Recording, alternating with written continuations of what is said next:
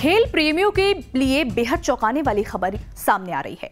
रूस के महान चेस प्लेयर गैरी कास्परोव को आतंकी घोषित कर दिया गया है। रूस ने आतंकियों और कट्टरपंथियों की लिस्ट जारी की है। इस लिस्ट में गैरी को भी रखा गया है। हालाँकि गैरी ने 2014 में रूस छोड़ दिया था और काफ़ी समय से वो अमेरिका में रह रहे हैं।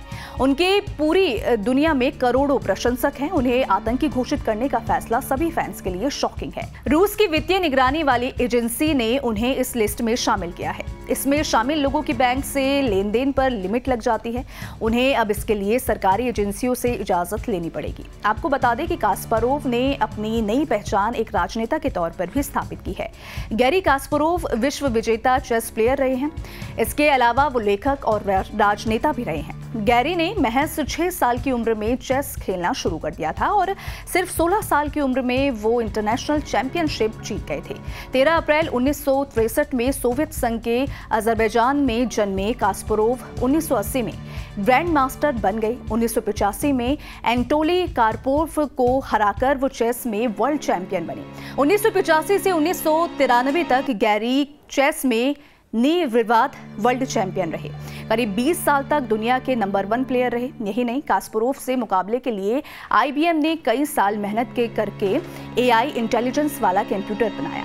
उन्नीस सौ छियानबे में गैरी और कंप्यूटर के बीच चेस मुकाबला हुआ था। ये संभवतः दुनिया में पहली बार था जब एक इंसान और कंप्यूटर में चेस का टूर्नामेंट हुआ। हालाँकि साल उन्नीस में सोवियत संघ के विघटन के साथ ही कास्परोव रूस में रहने लगे थे। कास्परोव सिर्फ़ चेस तक सीमित नहीं थे, बल्कि पॉलिटिक्स में भी बहुत एक्टिव थे। चेस खेलते समय भी वो कई दलों से जुड़े, हालाँकि किसी से लंबा जुड़ाव नहीं रहा।